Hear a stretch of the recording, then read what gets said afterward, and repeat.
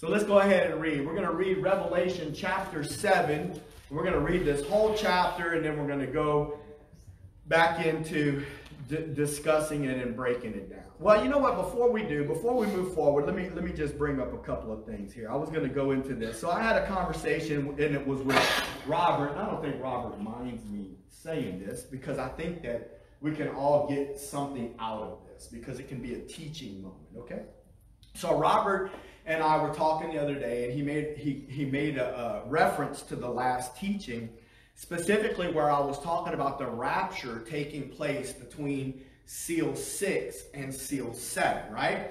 And and we covered all of that, and what and now we kind of moved through because we went through the seals and then what we did if you'll remember correctly was we compared that to Matthew 24 and the main emphasis of what I was desiring to accomplish in that teaching was to show the closeness of the if I could say chronology. I'm not trying to use big words but of the timing of events and how they correlate with one another between Matthew 24 and, and the seals, right? So seal 1, 2, 3, 4, 5, and 6 have a correlating passage in Matthew 24, Antichrist, wars, famines, uh, death, the martyrs, and then the sun turning dark and the moon not giving its light.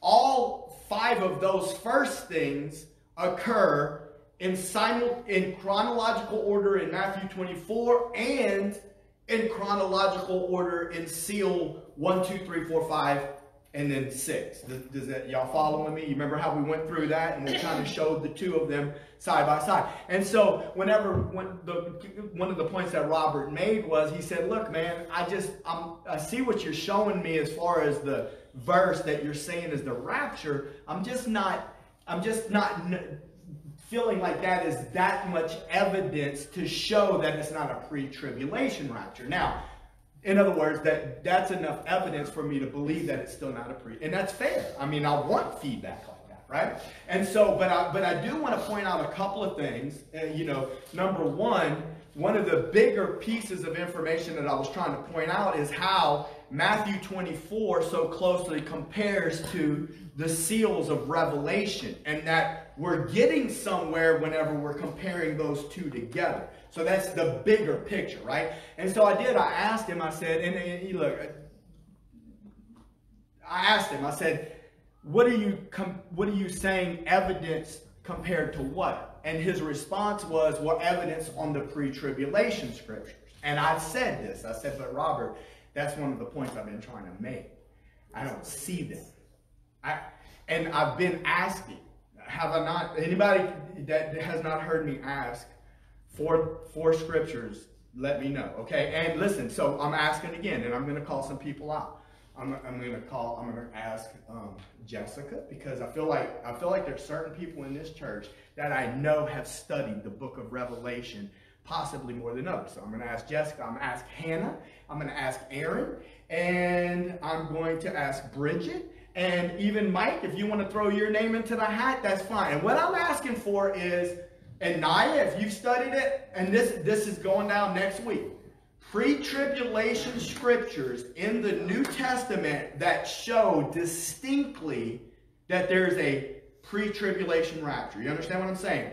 Because I am going to, when we get to Second Thessalonians chapter 2, show you a scripture that I believe specifically says it's not. And that's a letter written by the Apostle Paul, who is not talking in apocalyptic language, meaning symbolic language, but straight up, boom, boom, boom.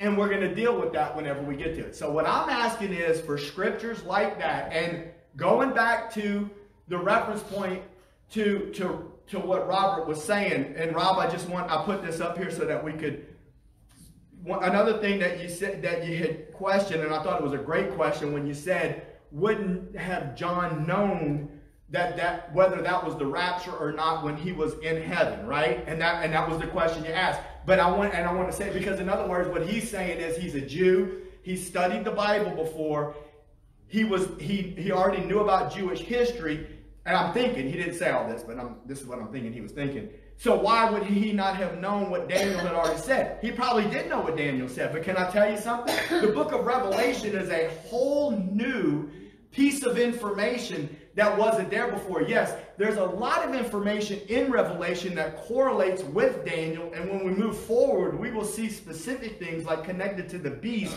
where we know the language is almost exactly the same as Daniel.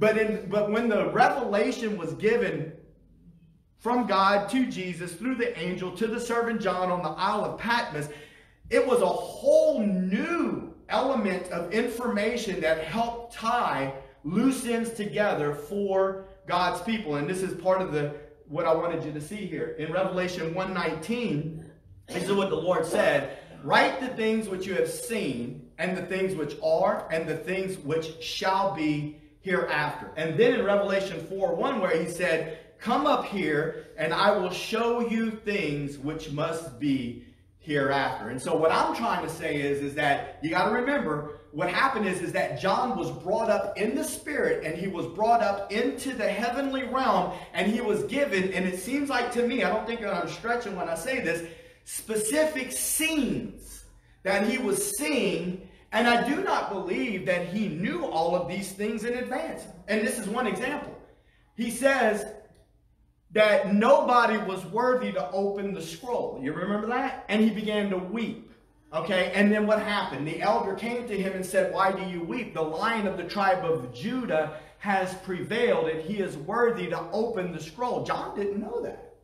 John didn't know what was going on, and he was weeping, okay? And so this is new information for him. And in addition, if you'll remember in Daniel, it talked about that some of that information was sealed up until the time of the end.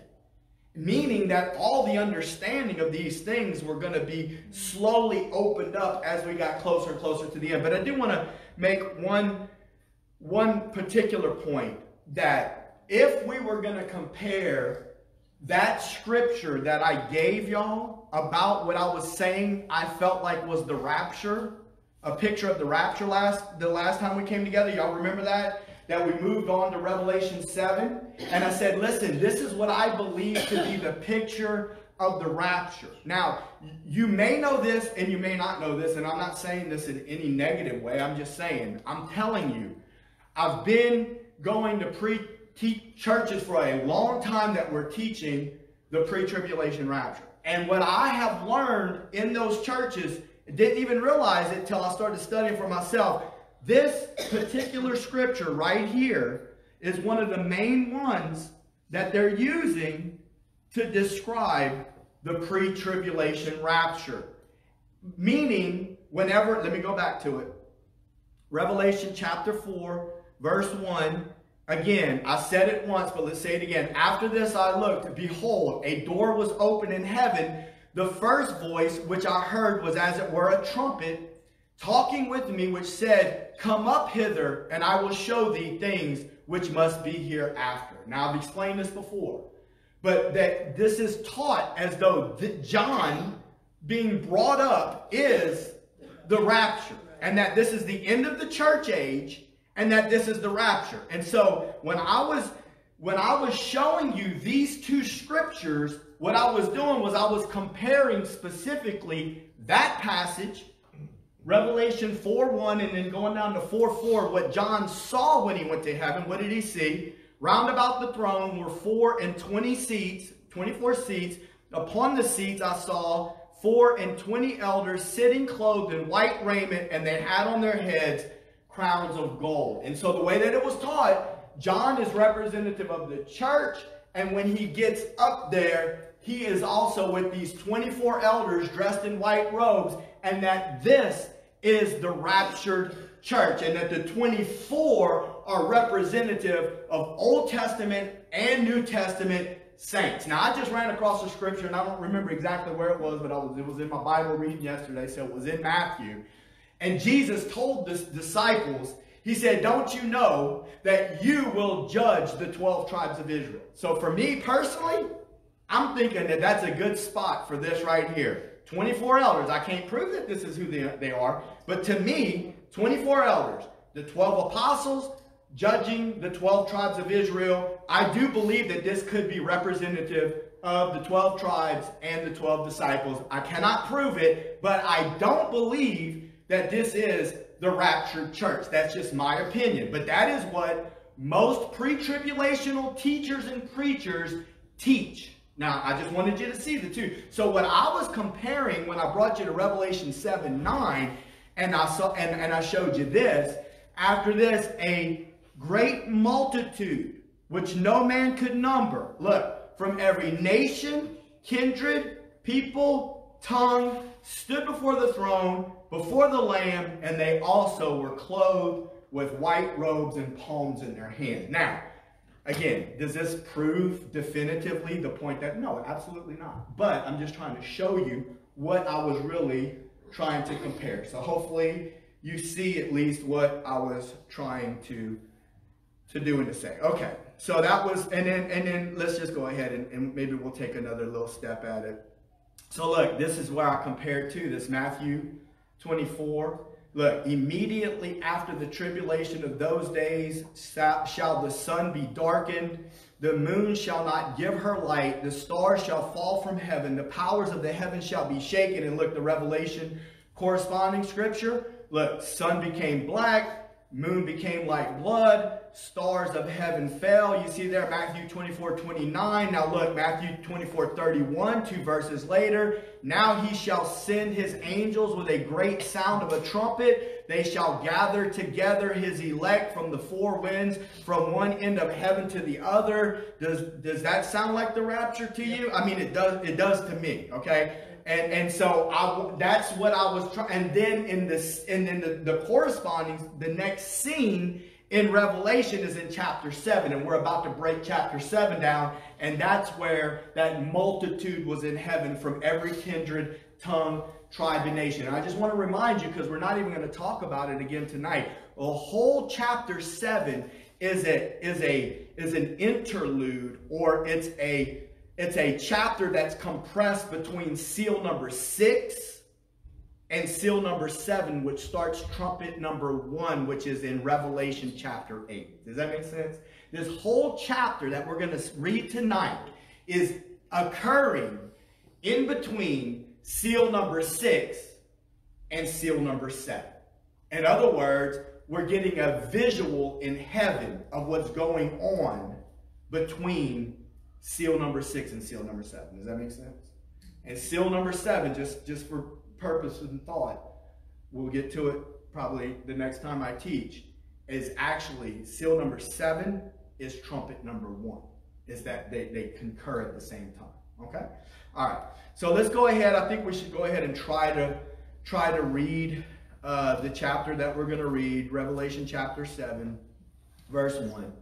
And after these things, I saw four angels standing on the four corners of the earth, holding the four winds of the earth, that the wind should not blow on the earth, nor on the sea, nor on any tree. Now, really what that means right there is that God is saying, hold back the wrath. And, and once we get to trumpet number one, you'll see that what I'm telling you is right because when the first trumpet is blown, that's exactly what happens is the trees in the sea are hurt. And so, so listen, the angels are being held back from the wrath of God being poured out. All right? And it says, And I saw another angel ascending from the east, having the seal of the living God, and he cried with a loud voice to the four angels to whom it was given to hurt the earth and the sea, saying, Hurt not the earth, neither the sea, nor the trees, till we have sealed the servants of our God in their foreheads. And I heard the number of them which were sealed, and there were sealed 144,000 of all the tribes of the children of Israel. Now I'm going to skip through because I got a PowerPoint for this, but he just goes and he starts listing all the different tribes, okay? And we're going to go through and you'll be able to see all the ones that were listed, all right? And and we're just for sake of time moving moving through this. Joseph and then the last one was Benjamin. Now, after this, after he sees the 144,000. After the fact that they were sealed. After this, I beheld, and this is that multitude that we were just talking about, which I'm saying to me looks like the picture after the rapture has taken place and the visual that John sees. Okay, so, so we're going to read it again. After this I beheld, and lo, a great multitude which no man could number, of all nations and kindreds and people and tongues, stood before the throne and before the Lamb, clothed with white robes and palms in their hands, and cried with a loud voice, saying, Salvation to our God, which sits upon the throne, and unto the Lamb. And all the angels stood round about the throne and about the elders and the four beasts, and fell before the throne on their faces and worshiped God, saying, Amen, blessing and glory, and wisdom, and thanksgiving, and honor, and power, and might be unto our God forever and ever. Amen. And one of the elders answered, saying unto me, What are these which are arrayed in white robes? And whence came they? And I said unto him, Sir, you know. So really what's happening here is that the elder is asking John, I guess you could say a rhetorical question. He's almost really like, he's saying, where did they come from? John's acting like he doesn't know, and he's referring back to the elder, and he's saying, Sir, surely you know, right? I said unto him, Sir, you know. And he said to me, These are they which came out of great tribulation, and have washed their robes, and made them white in the blood of the Lamb. Therefore are they before the throne of God and serve him day and night in his temple. And he that sits on the throne shall dwell among them.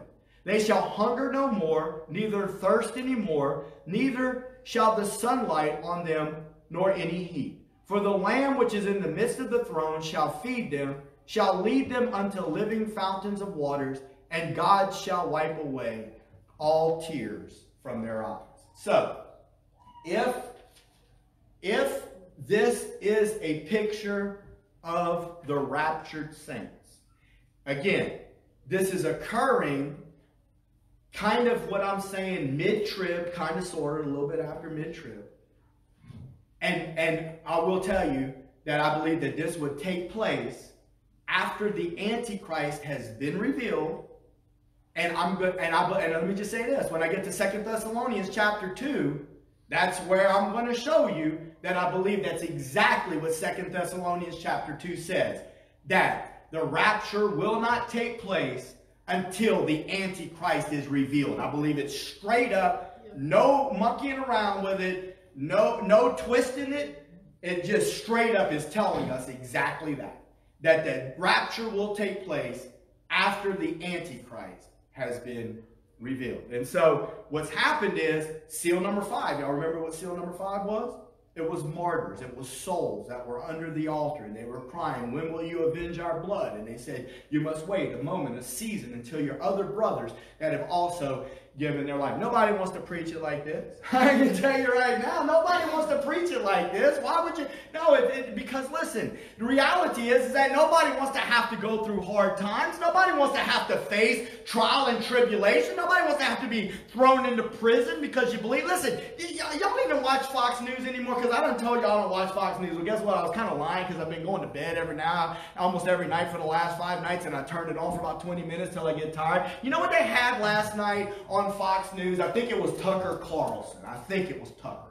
Tucker had some blonde headed lady that was a journalist. I think she was a Dutch journalist. He was showing video clips of hundreds, not thousands, hundreds of thousands of people in the streets of Europe protesting and screaming at the top of their lungs about no vaccine because there's vaccine mandates that are coming down. And already in Europe they have a vaccine card that's a QR scanner. And you cannot get into a grocery store unless you have your vaccine QR card and this blonde Dutch journalist lady straight up said the reason that they're in the streets and that they're doing this is because they know what's next, Tucker. They know what's next. This is the next step to this is, is telling hum, human beings that they will not be able to, to function or do any kind of business without this. And they know that if they don't stand now, it's just going to get worse. Have you seen that on the news anywhere besides that little clip that they showed? No, you haven't. And so the question is, why in the world is this being hidden from us? Now, are you trying to say that, that I'm not trying to say nothing other than what I saw on the TV. So what I'm trying to say is, is that I'm telling you right now, we're already in the midst of some bad times. Whether we recognize it or not, whether we see it or not, it's already way bad out there. And most of us know. But I'll be honest with you, we'd rather just, uh, and I'm, I'm kind of with you on this. I'd rather just get up early in the morning and just go back to work and just kind of forget that all this is going on. But it, we don't have that luxury anymore. We don't have that luxury anymore because the world around us is changing every day when we wake up. I believe that. I believe that with all my heart. And so, what I can tell you is this, is that if it is going to go down this way, the same Jesus that got Paul through what Paul went through, they got Thomas through what, what, he went through, they got Mark through what he went through, they got Ignatius and not Ignatius, I'm sorry, but uh, Irenaeus and all of these other church fathers that gave their life for the gospel is the same Jesus that's gonna. I never thought that I would actually see this. You understand? See the change on the landscape of the world the way that it's happening. I did, I wrote the book, I did all this study or whatever the case. Oh man, this is some really cool information that I learned. And then to see things begin to change before my very eyes. I never would have thought that I would have seen it, but I'm, but I'm seeing it. And I, and I think that most of you are, are seeing it too. All right? So that's what we're going to do. We're going to keep going through the scriptures and we're going to try to look at it from every angle that we can and we're going to try to be prepared for whatever it is that we will ever face. Amen. Whether it's popular or not. Amen. All right. So after these things, after what things? After the day of the Lord, after the sun became black, after the moon became like blood, and, and people started to realize that the wrath of God was about to be poured out on them from the and they would hide themselves from the wrath of the Lamb. Who shall be able to stand? And then after these things, verse 2 and 3. And I saw another angel ascending. I want you to notice that word ascending from the east, having the seal of the living God. And he cried with a loud voice to the four angels to whom it was given to hurt the earth and the sea, saying, Hurt not the earth, neither the sea, nor the trees, till we have sealed the servants of our God in their foreheads. Now we're going to talk a little bit about the servants because we want to get a little bit of a picture and try to understand who these guys are, right? So there's 144,000 of these servants, right? You read it. We read it earlier. So who are these 144,000? Who, you know, I'll, I'll, I'll ask some questions. Who are they? Where did they come from?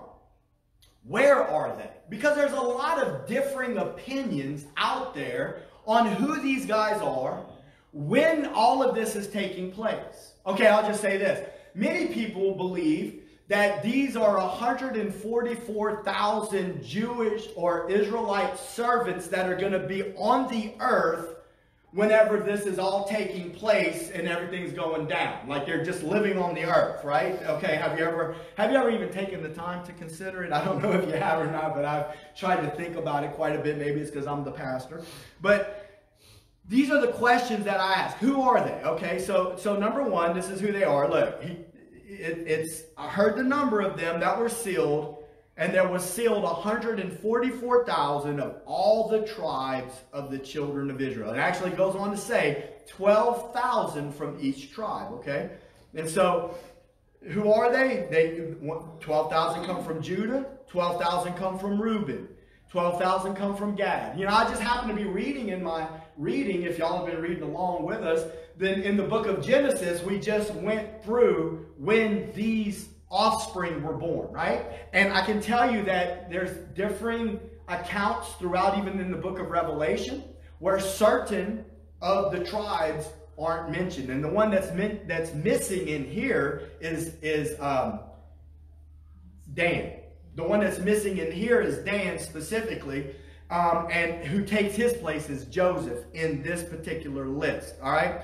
So, and you have Asher, you have uh, Neph- Nephthalim, Manasseh, okay, Simeon, Levi, Issachar, Zebulon, Joseph, and then Benjamin. Now, I can tell you that all of these men's names come from offspring of between Leah and Rachel and their handmaids. So all of these men right here are the offspring of Jacob. Okay? And so, um, the, and what we're seeing, what we're being told is, is that these 144,000 or 12,000 from each one of these tribes. Now, real quick, chronologically, you know, if we go backwards, you remember Jacob is the son of Isaac, right? And Isaac is the son of Abraham. And so I just want you to know that's where the name Israel came from. Many of you already know that, right?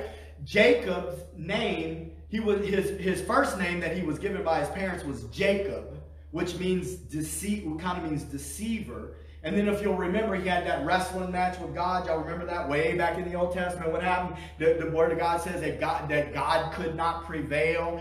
Again, I always like got to throw this in there. I'm not preaching on this right now. But it's not that God couldn't overcome a human being physically. At least not that's not what I believe. I believe it's because Jacob refused to surrender to the will and put himself under the hand of God. So what God did was he touched him in the, the King James says in the hollow of his hip. And from that day moving forward, he limped.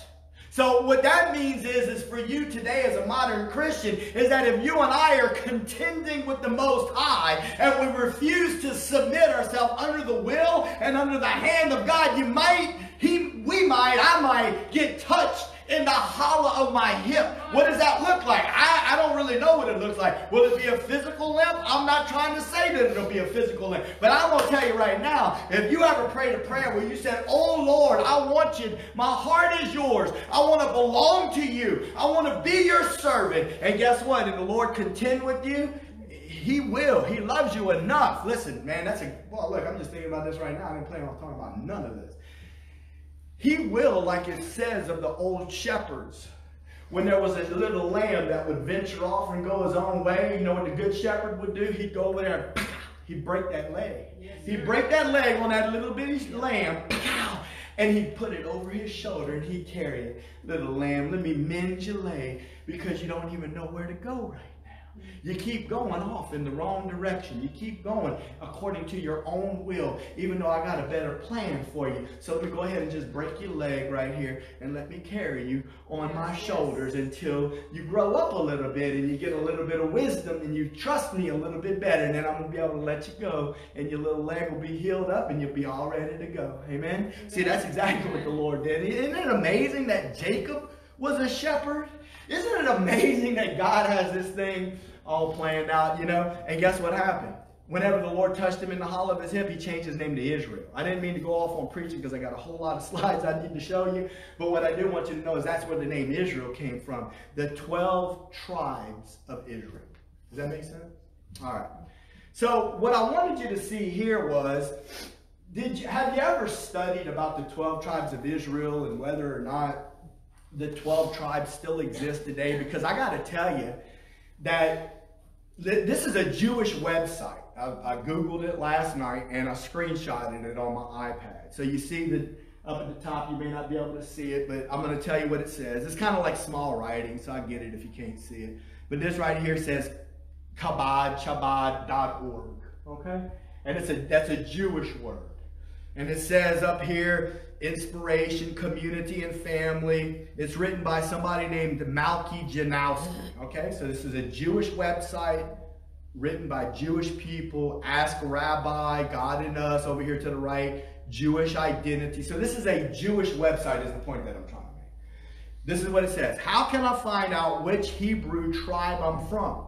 For the most part, tribal identities have been lost through the generations, and the majority of Jews do not know which tribe they come from. Now, goes on to say this there are a number of people whose families have passed down their identity as Kohanim, priests or Levites, which means they descend from the tribe of Levi. We do know that some people know about the, who, that they come from the tribe of Levi because they're part of the Temple Institute. And we've heard all about the red heifer and how they're getting all that ready and everything like that. There are also a handful of non-Levite families who can trace their ancestry to a particular tribe, but these are few and far between. When the Messiah comes, we will all find out which tribes we are from. I believe that. But when is when, when is when you gonna find that out? Is you, you, know what I'm saying? There may be a differing end of opinion. I believe that one day when Jesus comes. And does God know whether or not there's 12,000 from Gad, 12,000 from Reuben, 12,000? Of course, God knows everything. But the point I'm trying to make right now is, is I'm just trying to give you my opinion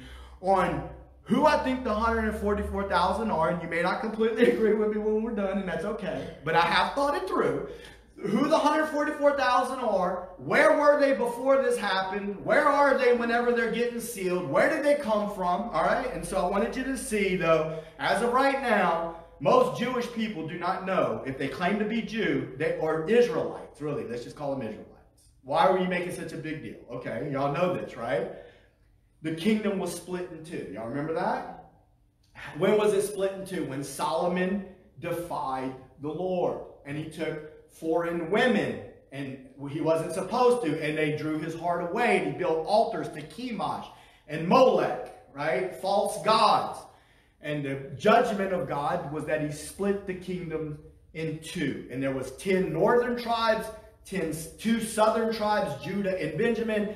And then the 10 got lost when the Assyrian Empire took them over, the 10 northern tribes got lost. If you read the story, they mixed a bunch of people. That's where the Samaritans came from. Anyway, ever since then, people don't really know what tribe they're from. So I wanted you to see that. I was just trying to make a point. Where did they come from, these 144,000? Okay, are they from the past? Are they from the present? Are they dead? Were, in other words, were they dead? Uh, these are just some questions I had. Are the, were they alive when all this happened? Were they raptured? Were they already dead? I can tell you that some people's opinion is that there's going to be more than one rapture. Some people's opinion is that they will be raptured. Some people's opinion is that they're actually raptured in Revelation chapter 12 and that they're the man child connected to the rod that we will study in further detail when we get to that. I just mentioned it in passing. And, and, and, and so that there's going to be multiple raptures. Okay? I personally don't, don't see it that way. Where, where are they? All right? So I believe they are in heaven at the time that they're being sealed. And I'm going to explain to you why I believe that. All right? Here's the scripture why I believe that. You see it? And I saw another angel. Ascending. You see that word right there? Ascending. Oh, Lord. I didn't mean to do that. I guess I'm going to be able to go back. Oh, here we go. This is the problem with technology. Okay? When you can't control your technology, instead it controls you. All right, where are they? I said I believe that they're in heaven. Right? I believe they're in heaven. All right, look, I wanted you to see this word right here. You see that? Ascending. Ascending from the east. So this angel, I saw another angel ascending from the east having the seal of the living God, and he cried with a loud voice to the four angels to whom it was given to hurt the earth and the sea. So why are you spending so much time talking about ascending? Because this angel has the seal of the living God in his hand, and he's going seal the 144,000, and he's ascending with the seal in his hand. He's not descending with the seal in his hand. To me, that matters. All right? I do believe they were raptured. We're going to get to that. I believe that they are Old Testament saints that died and now they have their glorified bodies after the rapture. And this is part of the scriptural precedence I'm going to use to make this point. 1 Thessalonians 4 and 16. For the Lord himself shall descend from heaven with a shout, with the voice of the archangel, and with the trump of God, and what? The dead in Christ shall rise first. Now, you do need to understand something here. Because look, there's false teachings out there that say, yeah, but, but I'm trying to tell you, I believe that they're Old Testament saints. So how are they dead in Christ? I'm going to tell you how they're dead in Christ, my friend. Because Old Testament believers were saved Contrary to some popular opinion, Old Testament saints were saved the same way New Testament saints are saved. What are you saying? They put their faith in the blood of the Lamb. They put their faith in the coming Messiah. He wasn't here yet, but look, do I have to go through it again? Well, let's go through it again. He's the seed of the woman. He's the seed of Abraham. He's the seed of Judah. He's the seed of David. He is the Word that became flesh and dwelt amongst us. He is the one that John the Baptist said, Behold the Lamb of God who takes away the sin of the world. But before he was manifest as the Lamb of God that takes away the sin of the world, there was a lamb moving backwards that took away the sin of the nation on the Day of Atonement in the book of Leviticus. There was, before that, there was a lamb that took away the sin of a family at the Passover. And before that, there was a lamb that took away the sin of the first couple that fell into sin, Adam and Eve, because God said, Your fig leaves aren't going to work. I got to clothe you with the skins of an innocent animal. What are you trying to say, preacher? I'm trying to say it's been the same plan from the beginning of time. Amen. God knew before Adam ever fell that Adam was going to fall. And that's why Peter wrote to us in 1 Peter 1.18. And he said, You were not redeemed with corruptible things like silver and gold, but with the precious blood of a lamb, which was foreordained before the foundation of the earth. They were saved looking forward to Messiah. We are saved looking backward to Messiah. Does that make sense? They were saved in the future that Jesus was going to come. But look, once he came and once the rapture happens, all those that are asleep in the Lord are coming up out the ground. We who are alive and remain will not precede those that have already died. Amen. And so, what I'm trying to tell you is that the scene in chapter 7 between the seal number six and seal number seven is in heaven, and that these Old Testament saints who were dead preceded the great multitude that we saw that were dressed in white clothes and robes and were giving worship to the Lamb. They were already there. They, they beat them by a split second, is what I'm trying to say. That's the position out there. All right. It says, and I look now, I'm moving up to, I'm, I'm look at this, I'm shifting gears on you, and I'm going to Revelation 14 1 because I want you to see that there's some common things in Revelation 14 connected to Revelation 7. It talks about, it talks about these 144,000 in Revelation 14 also. But I want to, I want to listen. We're gonna, when we get to Revelation 14, we're gonna break it down again. But I want to at least introduce this thought to you. Okay. It's, it's, I believe that Revelation 14 is actually repeating, and, and I got some more slides to make the point, is repeating what's already taking place in Revelation 7. In other words, when we're going to read Revelation 14, I don't believe that we're necessarily further in time. I believe it's the same scene, but it's just looking at it from a different angle. So what I'm saying is, is that in Revelation 14, and I'm and I got a couple of slides to make my point. We're still back at where we were at Revelation 7. This is after tribulation. The rapture is going to take place. Revelation 14 talks about the rapture again, I believe. You may not agree with me, but I'm going to show you what I'm talking about. Talks about the rapture again, and then the wrath takes place in Revelation 15. And when we get to the vials and the trumpets, I'm going to try to show you how they connect with one another. Okay? Okay, but going back to Revelation 7, we had tribulation, rapture, wrath is coming. Revelation 14, we have tribulation, rapture, wrath is coming. All right? So I want you to see that. But it said, but it said right there, it said, Behold,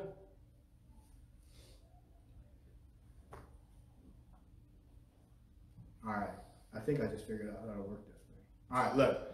I looked and lo, a lamb stood on the mount Zion, and with him 144,000 having his father's name written in their foreheads. Now, I don't think that's me. Is that one of y'all? Let me make sure. I don't think that's me. All right. So, I looked. So, listen, I want you to know that there was a Mount Zion in Jerusalem. There was a Mount Zion in Jerusalem, right? But in the book of Hebrews, it talks about a heavenly Mount Zion in Jerusalem. Did y'all know that? In the book of Hebrews, the point I'm trying to make is the book of Hebrews, there is a heavenly Mount Zion. This right here is the heavenly Mount Zion. John the Revelator says, I looked and there was a lamb. He's talking about Jesus. Obviously, he stood on the mount, I could say on the mount, the heavenly Zion, and with him were 144,000, having his father's name written in their foreheads. So obviously at this point in the scene, they already have the seal that's placed. All right? These are they which were not defiled with women, for they are virgins. So it's just giving us a little bit more information about the 144,000. It says right here, they weren't defiled with women, they were virgins. A lot of people believe that that means that these men, these 144,000 that were made up of 12,000 from each of the 12 tribes that we listed a while ago, never had relations with a woman, okay, physically. I, per I personally I, I can't prove it. I personally, that's not how I think. I think that this is spiritual. Okay, and that's my opinion, and I can't prove it. Why? Because if a man is married, then it's not wrong for him to touch a woman. Okay, that's one of my reasons. But also, one of my main reasons is, and again, I can't prove it to you, I'm just telling you my opinion.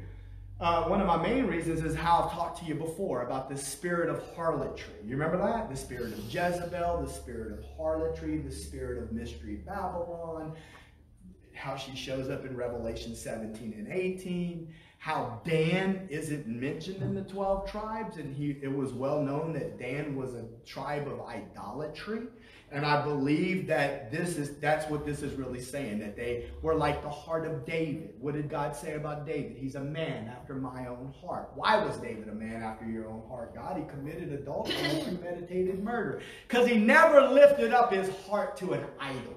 David never worshiped false gods. David's heart was connected to the Lord and he only wanted to live for God. All right? That's what I believe that this is talking about. I believe that these are 144,000 Old Testament saints that died, were raptured, have a seal in their forehead, and that they never committed spiritual adultery on the Lord. That's again, I can't prove it, but nobody else can prove it the other way either. All right. So that's that's kind of my position, and you don't have to you don't have to completely agree with me, and that's fine. But what I did want you to see with this verse of scripture right here was this, because you see, you got to kind of do something with this word, this redeemed word, right? Because it means that they were the word redeemed right there means to be purchased, but it also, in the context, means that they were taken from the earth. Right? They were taken from the earth. So it works with what I was trying to say that these 144,000 were Old Testament saints that died. They were buried, but yet they, in the rapture, they were redeemed from the earth. You get what I'm saying? I, I wanted you to see that. And look, they were redeemed from among men, being the first fruits unto God into the Lamb. Now, listen, I don't, I don't really have, I got to be careful. I don't really have time to say all of this, and I really didn't even plan to say it. But if you go back to Leviticus 23, I've done a lot of teaching on the feasts of the Lord before, all right? And in the feast of the Lord, it talks about the feast of first fruits. Now, I'm kind of slowing down a little bit because I'm still amazed every time I talk about it. That the first feast was a week of unleavened bread that started with Passover. Now remember that? So what was Passover? The killing of an innocent lamb so that Israel could be saved. And then after that, there was a week of unleavened bread, meaning you couldn't have any yeast in your house. Yeast is a type of sin. Jesus fulfilled both of those first two feasts. Now, all this is happening within a week, these first three feasts, okay? The, the, the, Jesus was crucified on Passover. I don't know if you knew that or not, but Jesus was crucified on Passover. And the Word of God says that he, it talks about the fact that he, it, he was without sin. So he was the unleavened bread, right? And the Bible says that he, Jesus even said that of himself. He told, he told the, he said, I can't remember exactly who he was talking to, but he said, your father did not, Moses didn't give you that bread. My father in heaven gave you that bread. For I am the bread of life that comes down from so Jesus is the bread of life. He's the unleavened bread. He's the one that's without sin. He fulfills Passover. He fulfills unleavened bread. He and and listen, you know what first fruits is? First fruits is the is the first part of the harvest. I, remember doing a study about it, and what would happen is the priest would go out there in the barley, he'd grab him a handful of, of barley, he'd cut it with the sickle, and he'd wave it up at the Lord. It was the feast of first fruits, and you know when it happened? The first Sunday after the Passover. What? Stop the presses, dude. Really? Yes. Thousand 2,000 years before Jesus was born, what happened was Jesus was the Passover lamb that died on Passover. And then on the first Sunday after the Passover, what happened? He resurrected from the dead. He was the first fruits unto God. He was the first one to be resurrected from the dead. And then 50 days after that, what happened? Pente, Pentecost. The day of Pentecost happened. Exactly again, 50 days later, on the day of Pentecost, the disciples are in the upper room and the Holy Spirit falls on them and they begin to speak in it. It doesn't get any better than this. The only way it gets any better is that the last three have not been fulfilled yet. We don't even have time to touch them. All right, so the point that I'm trying to make is, is that they were redeemed from among men, and that the word redeemed is fulfilled in the fact that they were Old Testament saints and died, and that they were brought up from this earth. And listen, it's even better because they were the first fruits of the rapture because they were part of the dead that it said in the last scripture we talked about that though that we who are alive and remain will not precede them that are dead in the Lord. Amen? So I just wanted you to see that. I want you to know that I'm thinking this stuff through. All right? So where's the scriptural precedence for this, though? Because, see, if I was you sitting in there and I was being introduced to some new information that I had never heard before, I'd be asking, hold on a second, buddy. You got some scripture to back this up? The thought of people that were dead from the Old Testament being brought back to life? And then being put on the earth to witness for the Lord? Yes, I do. Look right here, Revelation 11 3. Look at this. And I will give power unto my two witnesses, and they shall prophesy a thousand two hundred and three score days clothed in sackcloth. What is that talking about? Now, can I prove what I'm about to say? No, I cannot. But I'm about to ask somebody to help me out. Help the preacher out. Who do people say that these two witnesses are? Okay. Elijah. Elijah and Enoch. So, and, and, and who else do they say? Elijah. Elijah and Moses. And there's various reasons why. Right? Okay. We, I didn't mean to get into this, but look, Hannah said it. Jessica said it. The two that they had in common were Elijah because if you study these two witnesses, one, one of them calls down fire from heaven. Okay? What did Elijah do? He called down fire from heaven. One of them, it's, it, it talks about releasing the plagues. What happened with Moses? He released the plagues. And if you look at the two, they correlate very much. In addition to Elijah and Enoch, they have something else in common. What do they have in common? They never died. That's exactly right. They were taken up to the Lord. Amen. The Bible says that, that Elijah was caught up in a whirlwind. Amen. And his mantle fell to the ground and Elisha picked it up. What does it say about Enoch? Enoch was and then he walked with God. So neither one of those men died. The Bible says it is appointed unto man once to die and then the judgment. And so that's the idea on why it could have been Enoch and Elijah. And so why would some people say Moses? Because it seems like what the other witness does is more consistent with Moses' ministry. But what about the body? It doesn't make sense because Moses would have died. Well, there's a scripture that's really interesting in the letter written to uh, from Jude. And you know what it says? It says that Satan and the archangel Michael contended over the body of Moses. Did you know in the Old Testament that it actually says that God himself buried Moses? And so, for whatever reason, Satan wanted that body. I don't know what to tell you, but that's the reasoning behind something weird going on with the body of Moses. And God said, No, you don't make the rules. I make the rules. And so I'm just letting you know that that's the thought. So they, they said it. I didn't even have to say it. Most people believe that these two witnesses will be Old Testament believers. And like I think Hannah's main reasoning is, is that the reason Enoch instead of Moses is because Enoch never died, and that is a good thought. Yeah. But the other concept is that it could be Moses. And so that would have been, to clarify, that would have that if it was Enoch and Elijah, then really and truly my whole point wouldn't have been made because neither one of them died.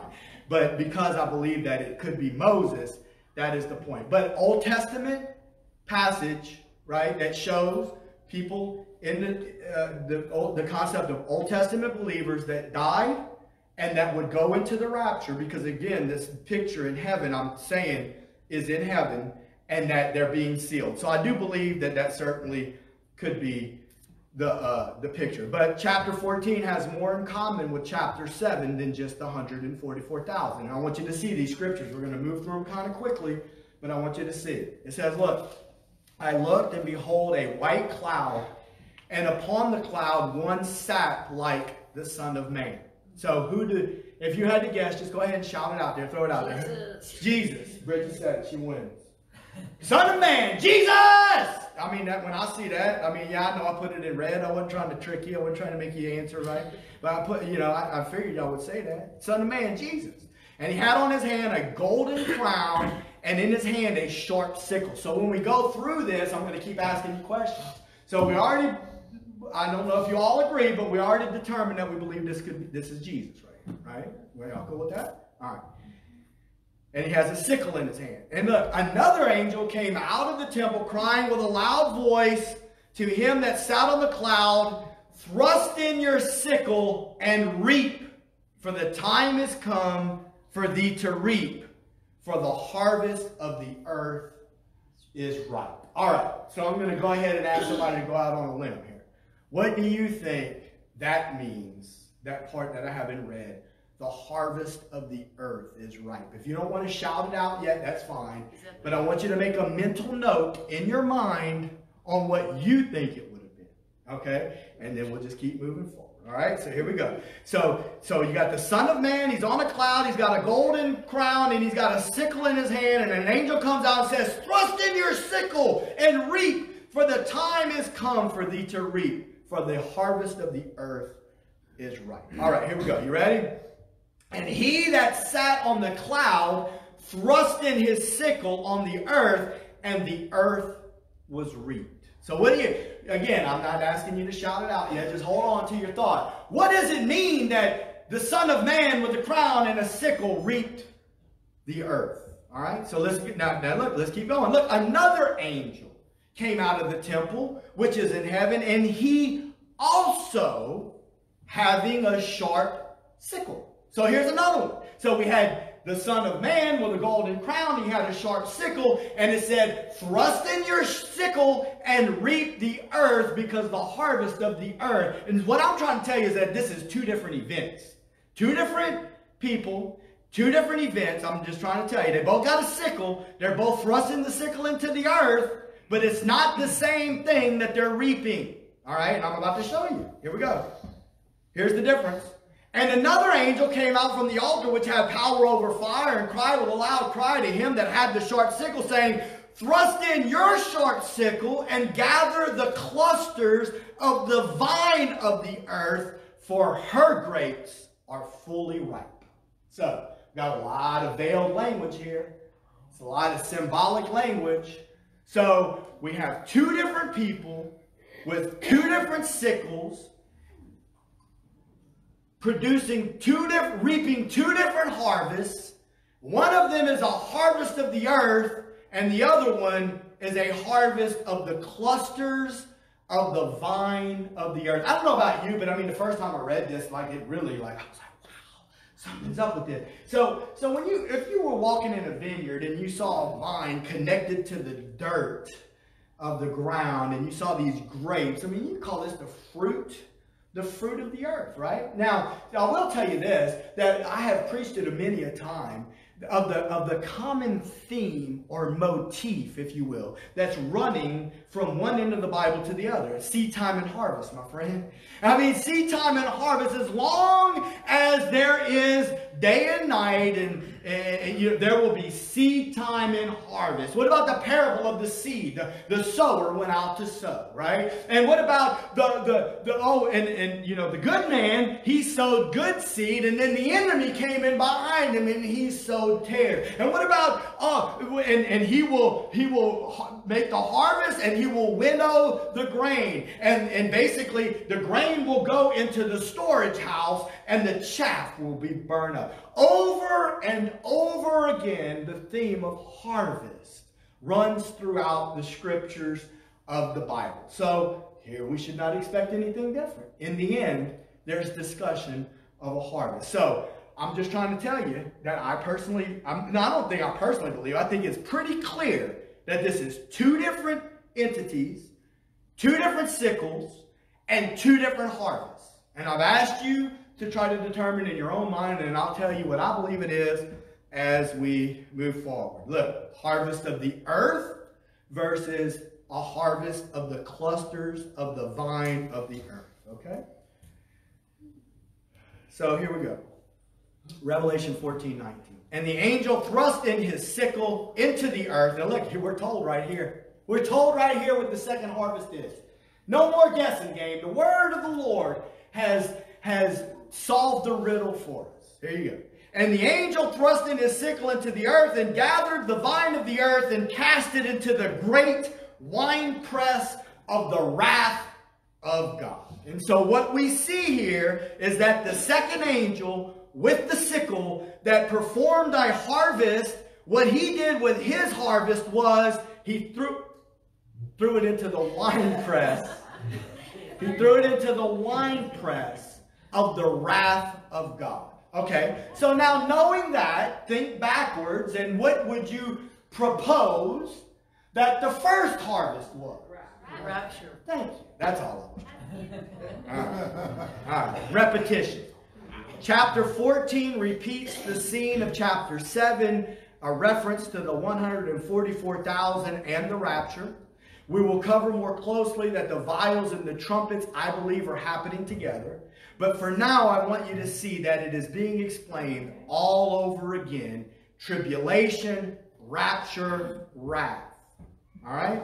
Look at this. Here's a, here's a picture. Chapter 13, tribulation. Now, what is chapter 13? This is, this is my take on this.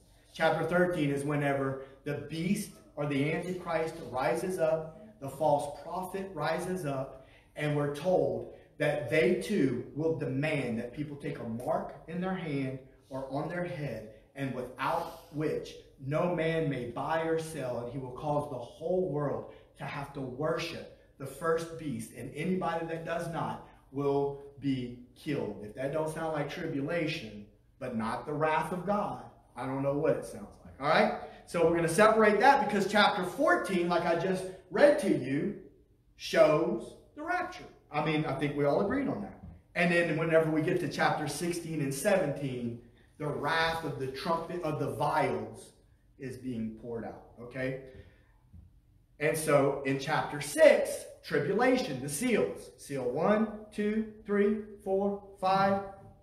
And then 6 marks the day of the Lord. Chapter 6, tribulation. Chapter 7, rapture. The scene in heaven with the 144,000 and then the great multitude. And chapter 8, wrath. Again, showing a connection between the two. That's the point that I'm trying to make here. All right, back to the scene in chapter 7 after the 144,000. Revelation 7, 9, and 10. After this I beheld, and lo, a great multitude, which no man could number, of all nations and kindreds and people and tongues, stood before the throne and before the Lamb, clothed with white robes and palms in their hands, and cried with a loud voice, saying, Salvation to our God, which sits upon the throne and unto the Lamb. And all the angels stood round about the throne and about the elders and the four beasts, and fell before the throne on their faces, and worshipped God, saying, Amen, blessing and glory and wisdom, and thanksgiving and honor and power and might be unto our God forever and ever. Amen. And he goes on to say, Who are they? They came out of great tribulation. Amen. Father, we thank you, Lord. We thank you for your word, Lord God. Lord, your word reveals your heart to us. Lord, it reveals this beautiful plan that you've given mankind. Lord, I'm just grateful tonight, even when we started tonight in prayer. You put it on my heart to be grateful, Lord, that I'm even saved tonight. To be grateful that you did, you came to live on the inside of my heart. And to be grateful, Lord, that you have given me a desire to serve you. And Lord, I started this night by praying for people that have been in the walls of this church and maybe even people that are here tonight or people that are watching on video that find themselves in the midst of a struggle, Lord. Deep in their heart, they want to serve you. Deep in their heart, they love you. But they cannot seem to find the strength that they need in order to serve you the way that they know that you've called them to. And so, Lord, we plead with you tonight. We call upon your name. We thank you, Jesus, for dying in obedience to set us free. We thank you, Lord, that you said it is finished, Lord, that it's a completed work. And we pray, Holy Spirit, that you would move in the midst of our hearts and in our lives, in the lives of the people that you have called us to minister to, Lord. We pray that you would give us the victory, Lord, for your word says we are more than conquerors through Christ who loves us. In Jesus' name we pray. Amen. Amen. Praise God.